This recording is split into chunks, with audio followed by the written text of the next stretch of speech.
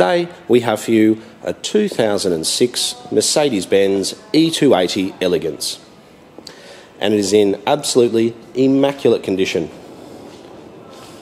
It'd be fantastic if every car we traded was in as good a condition as this car. It's done 103,000 kilometres from new. It drives absolutely beautifully Every single service has been at Mercedes-Benz, except for just one. Even the steering wheel, see all the switches are all in very good condition. Normally you get a whole lot of wear marks around here. This is a car I believe has always been garaged. You can tell by the condition of the car, even the headlights look like new. Another thing which is very rare is to get a car of this age with all four alloy wheels in immaculate condition, free from gutter rash all the way around. It's got four Continental tyres on it, and as you can see, it's grey in colour with black leather interior. It's got registration until March 2015 as well.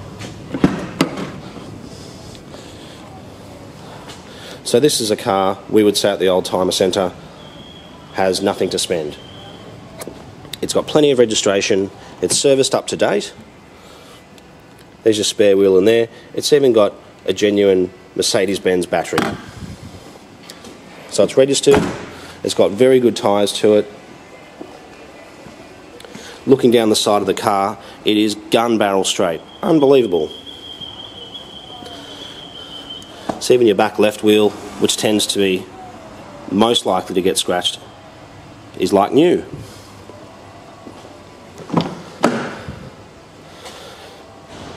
All the leather's in very good condition. Being an elegance, it's got the lovely wood grain. It does come with a sunroof. It's got two remote keys to the car, which is fantastic. It's got the newer 7-speed transmission. We'll have a quick look at the logbooks. So it's got all your manuals there. So this is your logbook here. So last, the last service was at a Mercedes-Benz dealer then was serviced somewhere else, and then Mercedes right through from new, which is absolutely fantastic.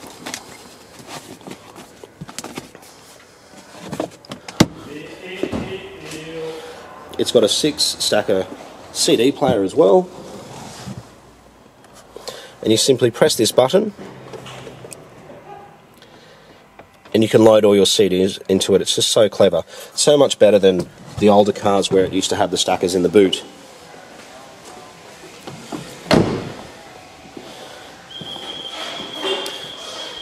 Looking at it from the front of the car, as I mentioned earlier in the video, the headlights are in immaculate condition. So if you are looking for a Mercedes-Benz E-Class, please come have a look at this one. Take it for a drive. It has done 103,000 kilometres as I mentioned. But to us, it really looks like a car which has only done about 50 or 60,000 Ks. It really is a very, very good example, and we feel it's, it's certainly a credit to its previous owner. So we're the Oldtimer Centre. We're located in Marrickville. We certainly look